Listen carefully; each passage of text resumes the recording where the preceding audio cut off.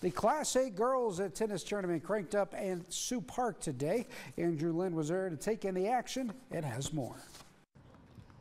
Class A state tennis out at Sioux Park Monday and Tuesday. Rapid City Christian and St. Thomas More in Flight 1 double semis. This one going to a three set tiebreaker, so you know it was good.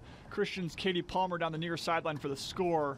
Palmer comes back for more. She's not done this time at the net. She slides over and slams it home for the Comets. STM not going down without a fight. Athena Francilisco with a powerful backhand return. That was nasty. STM gets the win 6 1, 4 6, and in a three set tiebreaker, 14 12, the final. Sioux Falls Christian and Huron Devils playing for a spot in Tuesday's Flight 2 finals. Sophomore Say Glay in the back row doing damage for the Tigers. Forehand slam to the far side. That is unstoppable.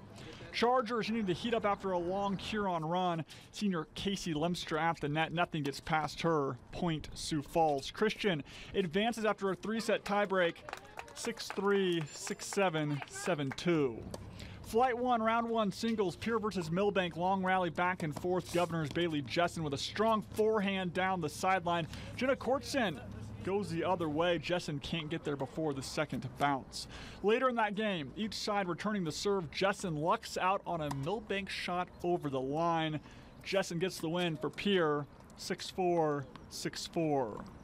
Back to STM and Rapid City Christian, but in singles, Kitty Geyer and Athena Francilisco. Any point earned in this match was a tough one. Francilisco gets Geyer after a shot into the net, and Geyer gets her back later in the game on the same situation. Francilisco into the net. STM, though, and Francilisco, very tough to beat. Athena Francilisco wins 6 2, 6 2.